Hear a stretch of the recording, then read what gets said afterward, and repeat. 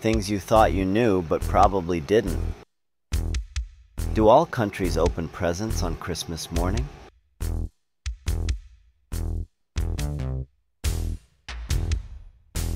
In many European countries like Germany and Austria, gift giving and festivities happen on Christmas Eve, making it a truly magical night.